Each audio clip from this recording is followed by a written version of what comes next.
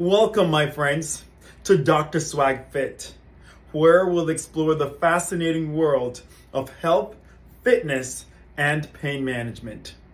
I am Dr. Neville Campbell, your guide on this transformative journey. Today, we will dive deep into the connection between fitness and pain management. So grab your workout gears and let's get started.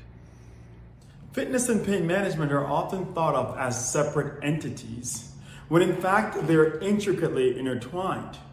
Some people believe that exercise exacerbates pain, but when done correctly, it actually alleviates pain.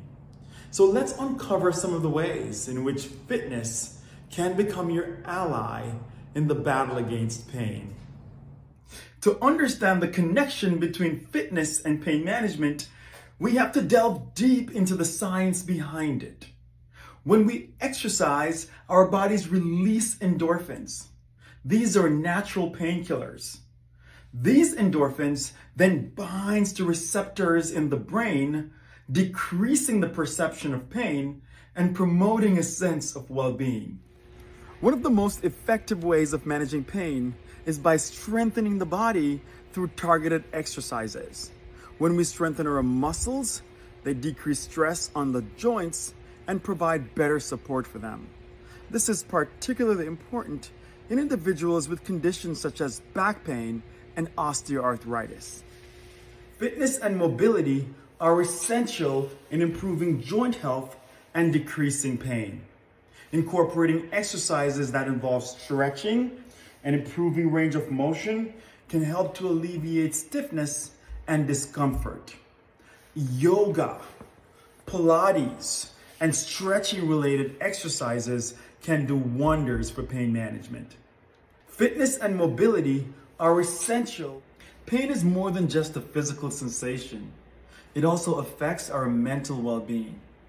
Engaging in regular exercise promotes the release of neurotransmitters such as dopamine and serotonin, which are essential in maintaining a positive mood and decreasing stress. By taking care of our mental health, we can better manage our pain.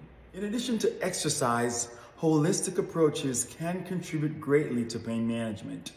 Techniques such as acupuncture, massage therapy, mindfulness practices have shown promising results in reducing pain and improving overall well-being. It's all about finding a comprehensive approach that works best for you. Thank you for joining me on this enlightening journey into the connection between fitness and pain management. Remember, taking care of your body and prioritizing fitness will lead to a healthier, pain-free life. Stay tuned for more empowering content on Dr. Swag Fit. Until next time, stay swagalicious.